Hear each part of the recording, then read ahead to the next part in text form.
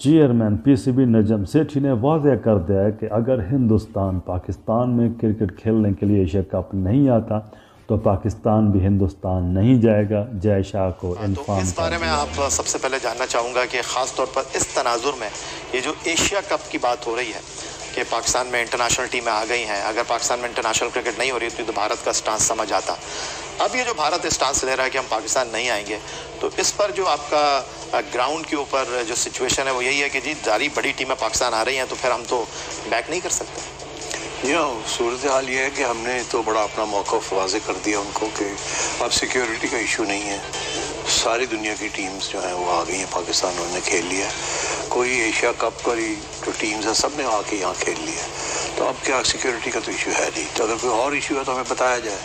तो ज़ाहिर है वो वाज तौर पर तो नहीं बताते, सिर्फ़ यही कहते हैं कि गवर्नमेंट की इजाज़त नहीं है। जब हम उनसे ये कहते हैं कि हमें कोई रिटर्न कोई ख़त दिखा दें, या गवर्नमेंट का कोई डायरेक्टिव दिखा दें, या कोई नोटिफिकेशन दिखा दें कि आपको इजाज़त नहीं है तो कहते हैं, नहीं हो तो ऐसी, हम इसके ऊपर और बात नहीं करना चाहते, हम नहीं खेल हम नहीं खेल सकते पाकिस्तान। तो अब फिर हम, हम हमारा ये मौक़ था कि अगर आप पाकिस्तान में अब भी नहीं खेलेंगे तो फिर कब खेलेंगे?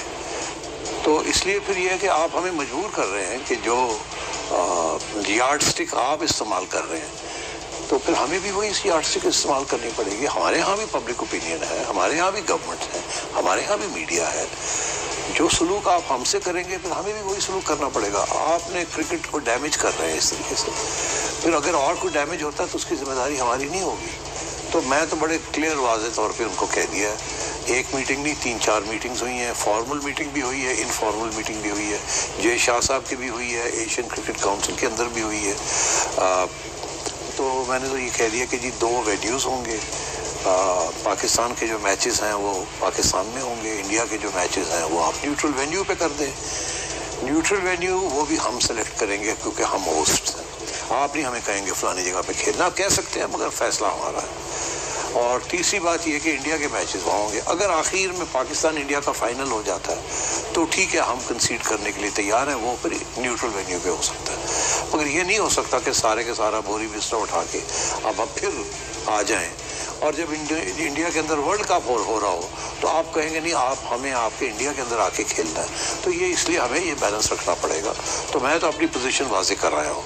वहाँ सारे लोगों का एक ही मौक़ था कि किसी तरीके के साथ एक ही जगह पे हो जाए। मगर जब मैंने ये बात कही उनसे तो फिर उनका एक ही मौक़ था कि ये हो नहीं सकता कि पाकिस्तान विड्रॉ कर जाए। तो फिर हमें कोई सोल्यूशन ढूंढनी चाहिए।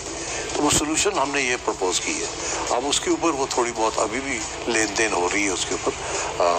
और हम उनसे ये कह रहे हैं कि हमें फैसला करके दें, ताकि हम फिर आगे बात बढ़ाएँ।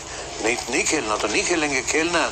तो फिर हम अगला कदम उठाएँगे कि कहाँ खेलें? उन्होंने ये साफ़ कर दिया है मॉडल ही चुना जाना है, कोई और तरीका नहीं हो सकता।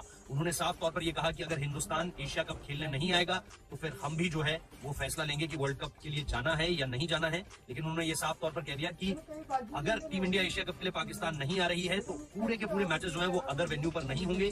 बाकी मैचेस हम पाकिस्तान में करवाएँगे। इंडिया को न्यूट्रल वेन्यू पर खेलना है, जिसके लिए राज़ी है। अगर फाइनल में दोनों टीमें जाती हैं तो भी हम न्यूट्रल वेन्यू पर जाने के लिए तैयार है। लेकिन न्यूट्रल वेन्यू भी हम ही चुनेंगे। न्यूट्रल वेन्यू यानी इंडिया ऑप्शंस दे सकता है कि हम यहाँ खेलेंगे यहाँ खेलेंगे यहाँ खेलेंगे। लेकिन फाइनल कॉल हमारा होगा कि किस वेन्यू पर जाकर आपको खेलना है। ये साफ़ तौर पर नजम सिटी ने साफ़ कह दिया है।